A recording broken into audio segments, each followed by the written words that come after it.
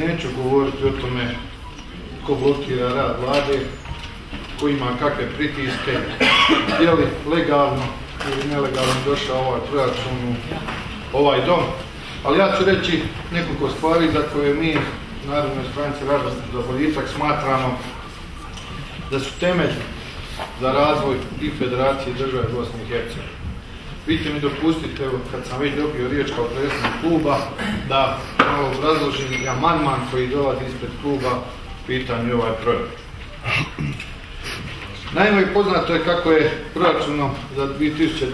godinu predviđeno 78 milijuna maraka za poticaj u poljoprivredu.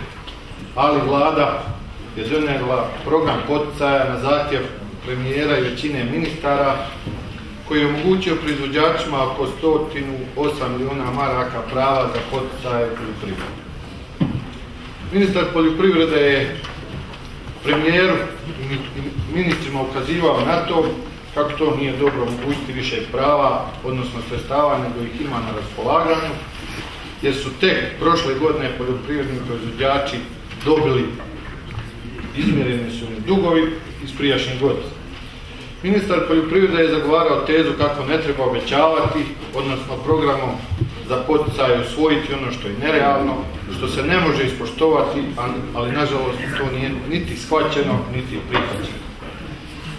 Rezultat toga je da danas imamo obveza prema poljoprivrednim proizvođačima iz 2012. godine 30 milijuna maraka i to samo temeljem razlike programa iz proračuna te još 10 milijuna maraka temeljem smanjenja proračuna za taj iznos.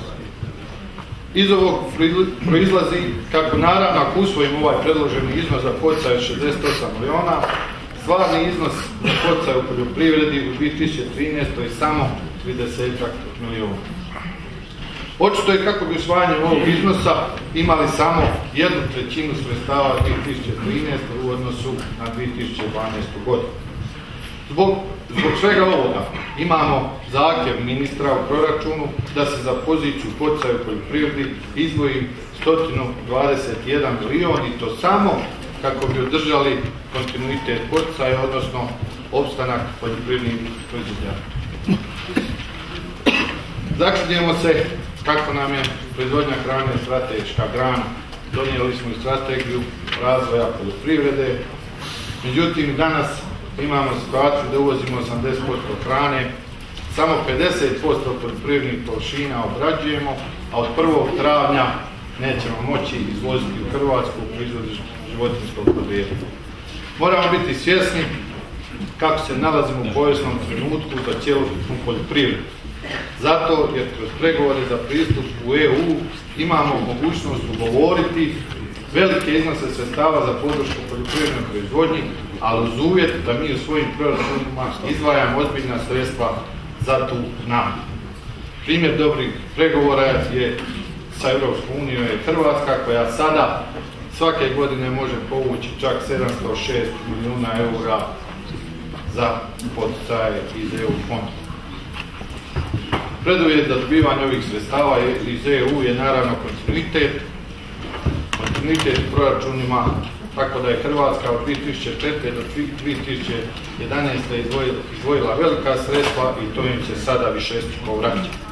Imamo također pozitivan primjer Makedonije koja u 2013. godini čak 135 milijuna eura planira izdvojiti za proračun. Činjenica je kako Republika Srpska veoma ozbiljno shvatila ovu situaciju te planira također za 2013. 28 milijuna maraka više dati za poticaj nego što je to u 2012.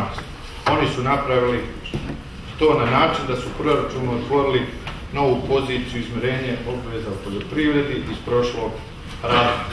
Klub Narodne stranke Radno za boljitak svojim amandmanom predlaže isto. Dakle, vi ćete dobiti taj amandman pa ćete moći vidjeti. Svjedoci smo također kako je poljoprivredu pogodila i nezapamćena prirodna nesreća tijekom prošle godine, niske temperature, ogroman snijeg, nakon toga je velika suša. Urodi za pojedine kulture su i prepoloženi. Zbog svega nabrojano, ovim našim amandmanom predloženih 68 milijuna za poticaje i uistinu u 2013. ostalo u poljoprivredi. Naravno da i to nije dovoljno, ali je minimum da poljoprivreda u federaciji ne doživi potpuni kraj. Ja u ime kluba zastupnika Narodne stranke radim za boljitak.